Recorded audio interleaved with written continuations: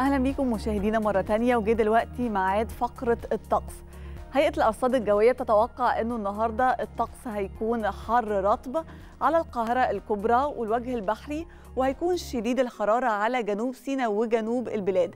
أما بالليل فالطقس هيكون معتدل رطب على كل الأنحاء. دلوقتي مشاهدينا خلونا نروح ونتابع درجات الحرارة المتوقعة والبداية هتكون من القاهرة.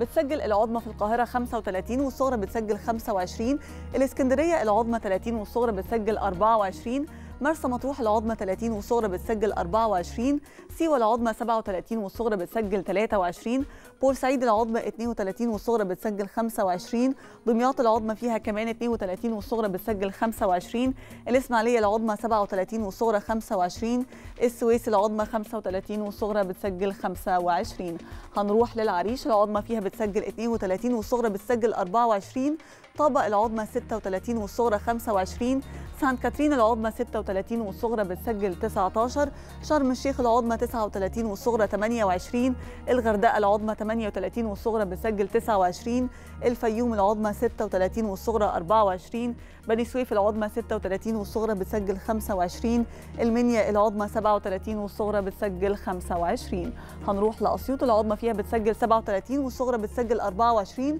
سوهاج العظمى 38 والصغرى بتسجل 25 قنا العظمى 39 والصغرى 26 الأقصر العظمى 40 والصغرى 27 أسوان العظمى فيها 41 والصغرى بتسجل 28 الوادي الجديد العظمى 39 والصغرى 25 شلاتين العظمى 37 والصغرى بتسجل 26 وأخيرا حلايب العظمى 35 والصغرى بتسجل 27 دي كانت فقرتنا الجوية مشاهدينا دلوقتي هنرجع لأحمد وجو معنا عشان يكملوا بقية فقرات صباح الخير يا مصر. إليكم.